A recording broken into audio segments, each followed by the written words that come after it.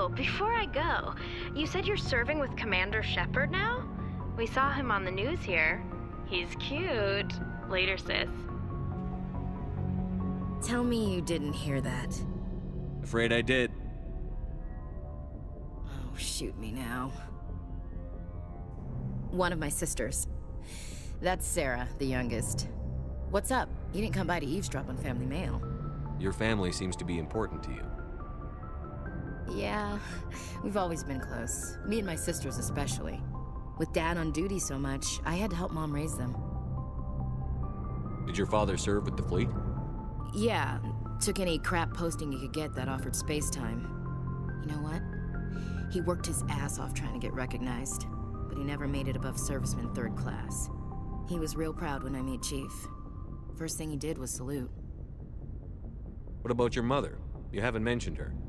You must know what military wives are like. Strong because they have to be, able to raise kids while dad's away on a six-month cruise. She has a degree in planetary geology. She and dad both wanted to see new worlds. She gave up her career to raise us, though. You have more than one sister? Sounds like a big family. Yeah, I'm the oldest, then Abby, then Lynn. Sarah's the youngest. She's still in high school. With four girls, Dad used to say he felt more outnumbered at home than on maneuvers. Where did you grow up? All over. We transferred a half a dozen times before I finished grade school. You go where personnel command sends you, right? I guess that's why I'm so tight with my sisters. We'd have to leave all our friends every two or three years. After helping raise them, your sisters still talk to you? Amazing. Things were tense between Sarah and me for a while. Then we bonded. Sounds like a story. Feel like sharing? Sarah got herself a boyfriend who wanted to go faster than she did, Mike. I didn't think he was a bad kid, just pushy. Lynn would send me these worried vid mails, and I'd tell her to relax. Where were you when this was going on? I was on active duty. Sarah's graduating high school this year. This was only a couple of years back. They were on Amaterasu. At the time, I was assigned to Chernobog. Same cluster, but a dozen LY away. Close enough to talk regularly, too far to make it back in an emergency. I couldn't afford a fast packet flight. If he really liked her, he wouldn't be pushy. Yeah, of course. If he didn't ask at all, I'd wonder if he thought Sarah was ugly. damned if you do, damned if you don't. Mike thought they'd go for a romantic walk in the woods, because he figured it was past time they did the deed. She levered Mike face first into a tree and left. Didn't have a scratch on her. Good thing Mom and Dad had us all learn some kind of self-defense. I took emergency leave and walked Sarah to school for a few days. Why didn't you tell the police? She said it wouldn't solve the real problem, and she and Mike would both become household names. It was a small colony.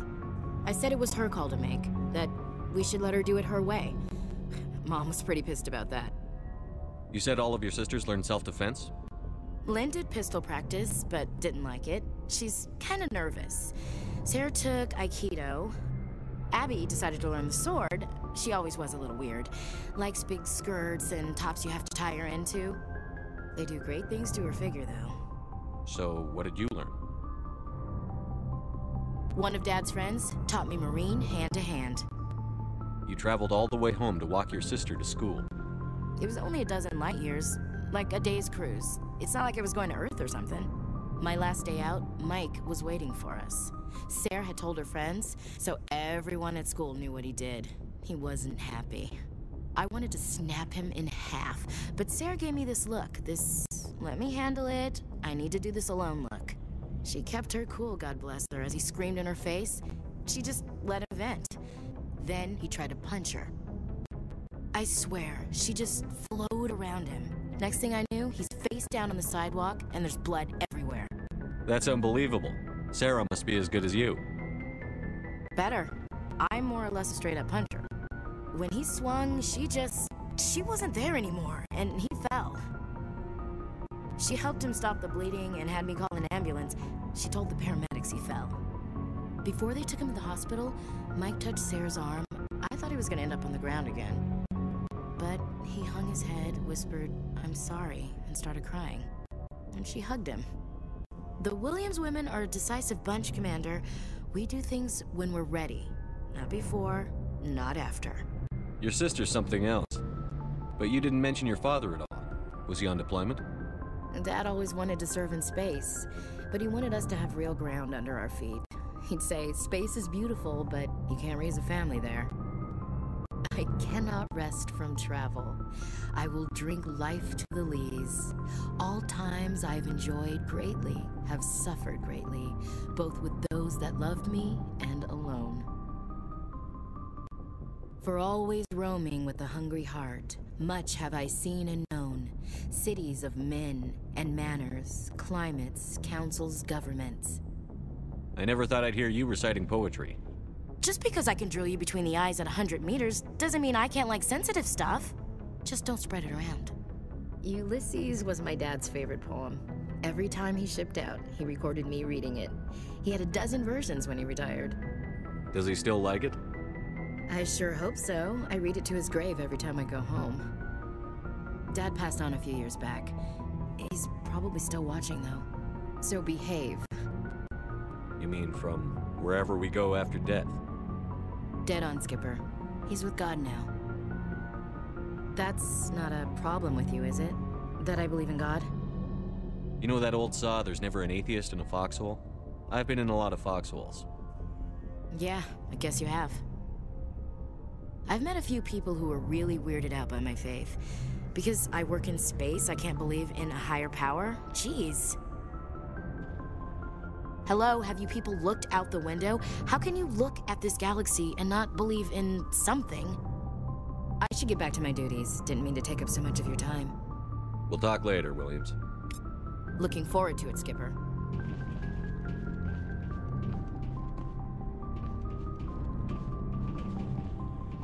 Commander, good to see you. You've been with C-Sec a while. Have you seen much action?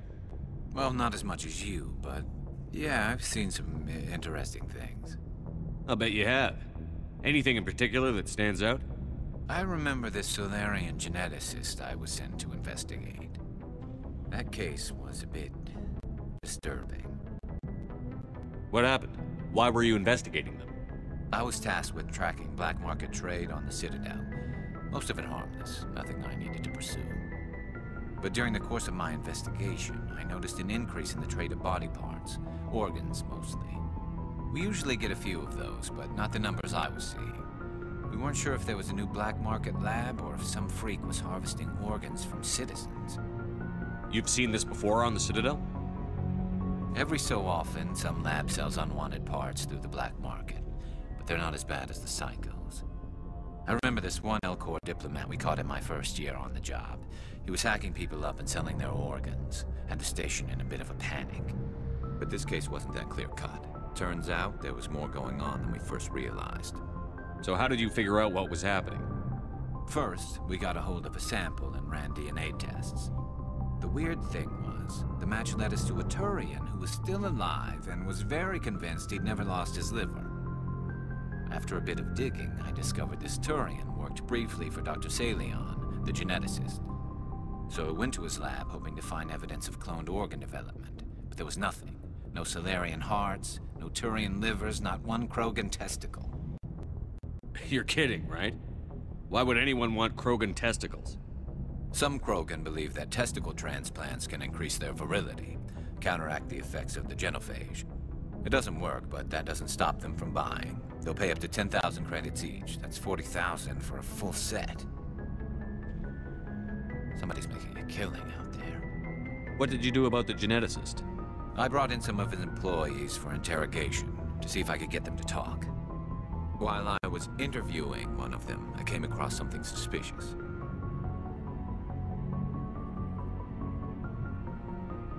You mean threatened? Was that really necessary? Maybe, maybe not. Either way, it paid off. One of my detainees started bleeding profusely during the interview. We offered to patch him up, and he got frantic, freaked out. I ordered a full exam to find out what was going on. Our medics found incisions all over his body, some of them fresh. That was our big break. These people weren't just Dr. Saleon's employees. They were test tubes, walking, living test tubes. He was growing parts inside these people? Exactly. He cloned their organs right inside their own bodies, then he harvested them and sold them off. Most of the victims were poor. He'd pay them each a small percentage of the sales, but only if the organs were good. Sometimes an organ wouldn't grow properly, so he'd just leave it in them. Most of them were a mess, but only on the inside, hidden so nobody could see it. I hope he got what he deserved. That's the worst part. We never caught him. Why not? What the hell happened? He ran, blew his lab, grabbed some of his employees, and headed for the nearest space dock. By the time I found out, his ship was already leaving. He threatened to kill his hostages if we tried to stop him. But you went after him anyway, right? I ordered Citadel Defense to shoot him down, but C-Sec headquarters countermanded my order. They were worried about the hostages, worried about civilian casualties if the ship was destroyed so close to the Citadel. I told them those hostages were dead anyway. He just used them to make more organs, but they wouldn't listen. Well, it's not worth the risk. You pursue the vessel and disable it. That's the best choice. They sent the military after him, but he got away just the same. Yes, they did. I went to Pallin and told him what I thought of him and his policies. He said if I didn't like it, I could quit. Well, I almost did. All they had to do was disable that ship, stop him from running. Maybe the hostages die, maybe they don't, but at least we stopped the bastard responsible for it all. If you don't care about the fate of those hostages, then you're no better than he is. You're just a terrorist with a badge. Yeah, maybe you're right. It doesn't make it any easier, but I see your point. Just wish I could have stopped him. That's all. Do you have any idea what happened to Dr. Saleon? I sent out feelers from time to time, hoping to find something. I thought I'd found him a while back. He changed ships and changed his name to Dr. Hart, his idea of a joke, I guess. I told the military, but they weren't convinced it was him. I got the transponder frequency for his new ship, but I just can't get anyone to check it out. I'll check out the coordinates when I get a chance. I was hoping you'd say that. But Commander, take me with you when you go. If it's Saleon, I want to be there when you find him.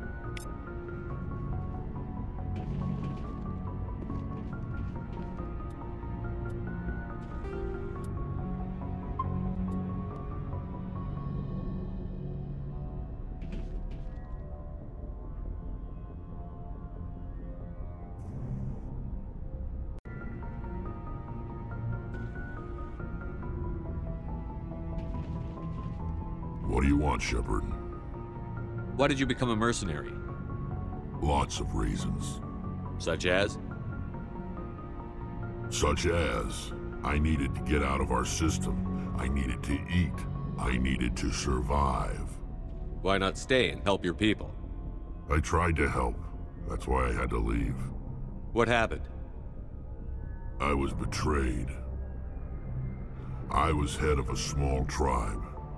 We were trying to restore order after the war, but the other tribes were against us. They followed Jarrod, one of the few warlords who survived the war with the Turians. But he was old, and so were his ideas. He wanted to continue the war. He wanted us to fight. Turians, Salarians, each other. It didn't matter who, as long as we were fighting. What did you want? I just wanted Jarrod to shut up. To stop his ranting. I wanted him to stop leading the tribes astray. But he couldn't understand how much things had changed. We didn't have the numbers to go to war. Even if we did, the genophage made sure we couldn't replenish our numbers fast enough. I told them all to forget about war. We needed to focus on breeding, at least for one generation. And for a while, we were getting through. Some of the tribes started coming around. I take it the warlord didn't appreciate that. No, he didn't. He arranged a crush with the tribes. A meeting on neutral ground. He wanted to talk. We met at the Hollows, near the graves of our ancestors. The skulls of our dead laid bare to remind us where we come from and where we all go. It's as sacred as any Krogan place can be. Violence is forbidden. It sounds like a trap to me. You must have suspected as much. I did. But when your father invites you to a crush, well, there are some laws that even we hold sacred. Jarrod was your father? He was. Until that day. We talked, but we didn't get anywhere. When it was clear that I wouldn't join him, he gave the signal. His men leapt from the graves of our ancestors like Krogan undead. The few that were loyal to me died quickly. I escaped with my life, but not before I sank my dagger deep into my father's chest. That is why I left, and that's why I'll never go back. So long, Rex. Shepard.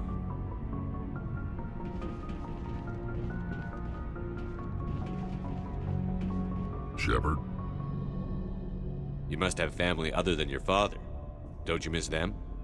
You're trying to make me cry, Shepard?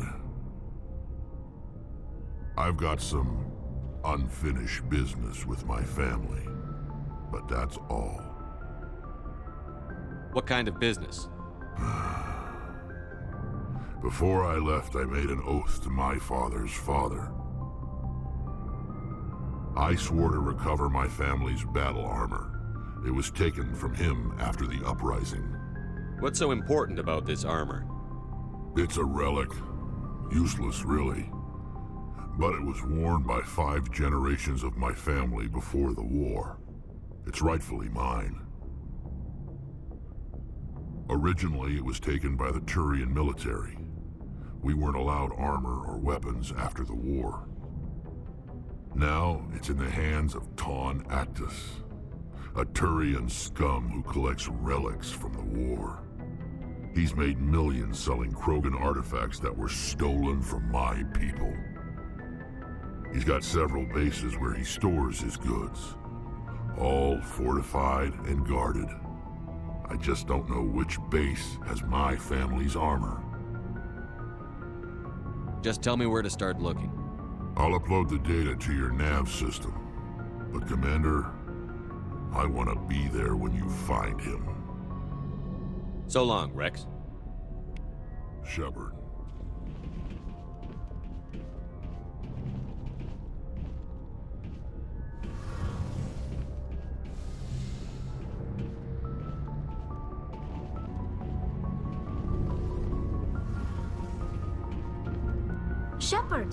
Glad you're here. Good to see you smiling again. So to speak. I'm sleeping much better now. I guess I'm getting used to how quiet your ship is. I still think a lot about my pilgrimage, though. I know Saren's our top priority, but with all the worlds we go to, I was hoping to find something to bring back to the flotilla. We've still got a long way to go. You'll find something to take back. Yes, but it cannot just be some derelict ship my people can use for salvage. It has to be more than that. There's a lot expected of me. What's so special about you? It's my father. He's the senior member of the Admiralty Board. He's one of only five people who can overrule the decisions of the Conclave for the good of the migrant fleet. My father is responsible for the lives of 17 million people. Our entire race is in his hands, and I'm his only child. So are you some kind of heir to the Quarian throne or something? No, it doesn't work that way. My father's position isn't hereditary. I'll probably never serve on the Admiralty Board myself. Officially, I'm just the same as any other citizen. But it doesn't work that way in practice. People have always treated me differently because of who my father is. You must get all kinds of special privileges. I probably had it easier than most growing up, but it's not all good. People like my father have enemies, and they're not above using me to get to him. It must be tough on you. My people place a high value on family and ancestry. There's an unspoken expectation that I'll live up to my father's example.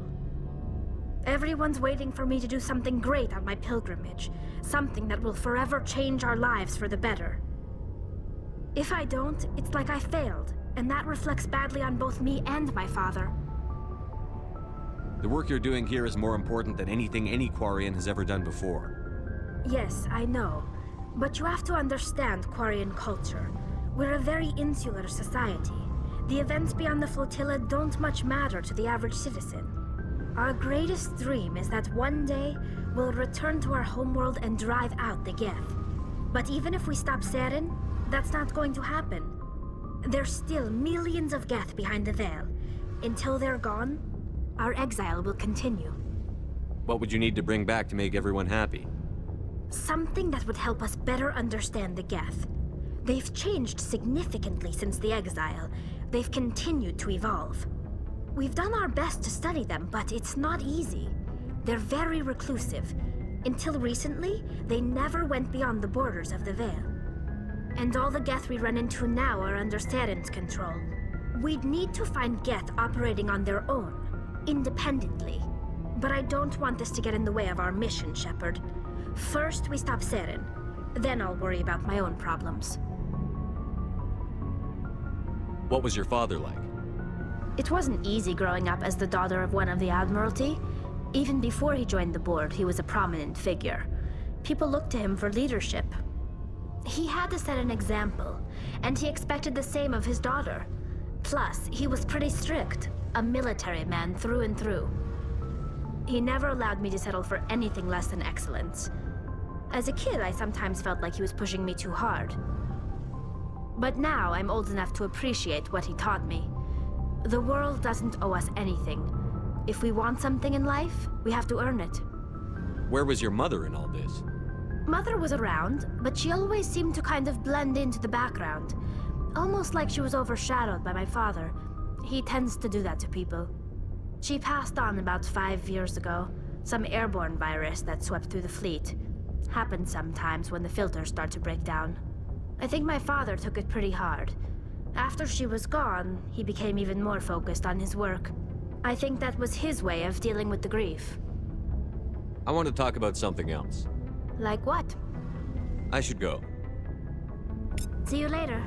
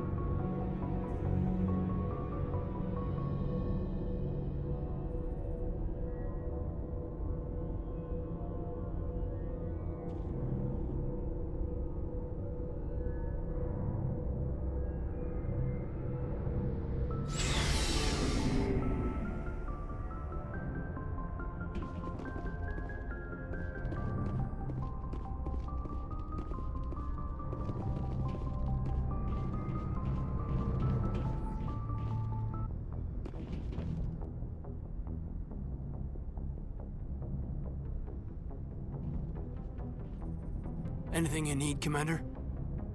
Just trying to get a sense of where the crew's at. Thoughts? Well, they know about the stonewalling you've had from the Council. They deserve to know what we're up against. They're on your side. They're pissed about the resistance we're getting, especially from our side. I'll have a better handle on all of it when my head stops hurting. Another L2 flare-up. Anything I can do? No, Commander, it'll settle down. It's rough sometimes, but they spike higher than a lot of L3s. Except for you, of course. Besides, I fared a lot better than some after Conatix was through. I haven't heard anything about Conatix in a while. Yeah, they quietly disappeared. Broke up into a bunch of little corps after they botched the training on Jump Zero. After first contact, Conatix was set up to track Element Zero exposures and develop implants for humans.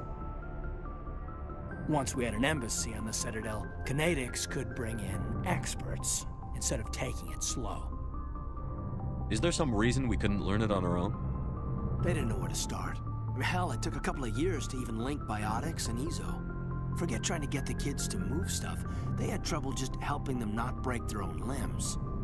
And their choice of teachers didn't help much. The only experts would have to be aliens.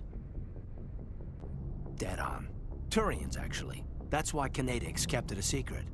They were afraid of what people back home would think, asking the Turians for help when we just fought a war with them.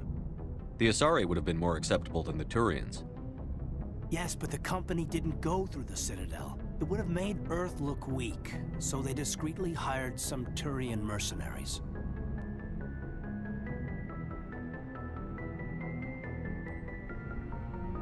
I'm sure Conatix did what they thought was best. It wasn't best for us. They brought in an ex-military Turian named Commander Vyrnnus. A real hard-ass. He basically had a free pass to break us if it would turn out a decent biotic. Kind of spiraled from there, Commander. Did he ever face charges for that? He got his, yeah. But like everything else at Jump Zero, it was under the table. The less said, the better. Anyway, this is ancient stuff. I walked it off a long time ago. I should get back to my duties, Commander. We're here to make history, not rehash it. We'll talk another time, Lieutenant. Commander?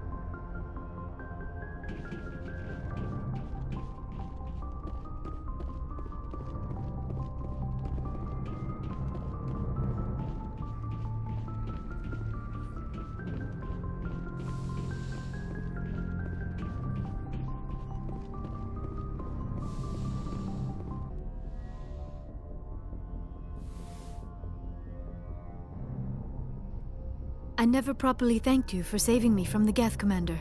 If you hadn't shown up, I- I'm just glad we got there in time. so am I. I know you took a chance bringing me aboard this ship. I have seen the way your crew looks at me. They do not trust me. But I am not like Benezia. I will do whatever I can to help you stop Saren. I promise.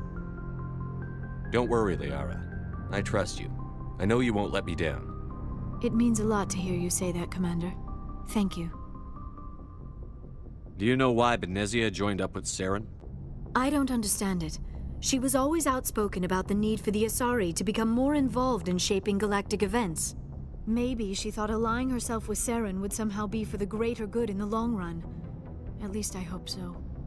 This hurts you, doesn't it? None of this makes any sense to me. I have not spoken to Benezia in many years, but I know her, and this was not like her. Something changed. I'd like to know more about the Asari. We were the first species to discover the Citadel. We were instrumental in forming the Council, and we always strive to be the voice of peaceful cooperation in galactic disputes. My people believe we are all part of a single galactic community. Each species contributes something to the greater whole. Although we seek to understand other species, it seems few of them seek to understand us. The galaxy is filled with rumors and misinformation about my people. Like what? Most of the inaccuracies are centered around our mating rituals. My species is monogendered. Male and female have no real meaning for us. We still require a partner to reproduce. This second parent, however, may be of any species and any gender. I don't understand. Your species can mate with anyone? Mating is not quite the proper term, not as you understand it. Physical contact may or may not be involved, but it is not an essential element of the union. The true connection is mental. Our physiology allows us to meld with other beings. We can touch the very depths of their minds. We explore the genetic memory of their species. We share the most basic elements of their individual and racial identities. We then pass these traits on to our daughters. It is how we learn to grow as a species and how we develop a greater understanding of other races. What happens to your partner after the union? Every relationship is different. Some unions are a single encounter with both parents parting ways afterwards.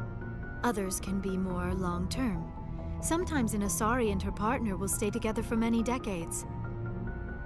Do you know who Matriarch Benezia chose as her partner? She rarely spoke of her partner. Though I know my father, if you want to use that term, was another Asari. Benezia never told you her partner's name? Union with our own kind is no longer common, not for the purposes of reproduction. Most Asari believe it weakens our species. Asari daughters inherit racial traits from the father species. If both parents are Asari, then nothing has been gained, or so conventional wisdom would hold.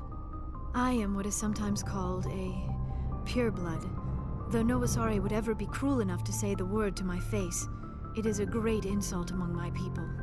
It is possible Benezia's partner was embarrassed by their union. She may have been too ashamed to publicly acknowledge me as her offspring. Maybe she wanted to meet you but couldn't. Something could have happened to her. Maybe she passed away. You might be right. I hope you are. But I have no way to know for sure. Benezia never spoke of her partner. Whatever happened, it caused her too much pain to dwell on it. She raised me by herself, though that is not uncommon. Many Asari raise their children alone, particularly if the father species is short-lived. Often the partner will pass on long before the child reaches maturity. I should go. Goodbye, Commander.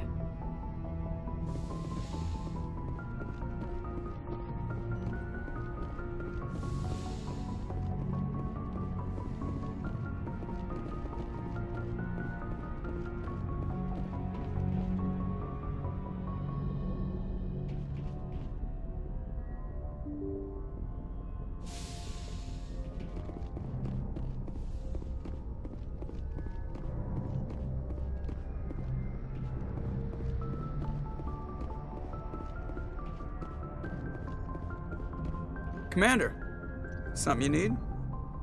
I have to go. All right, see you.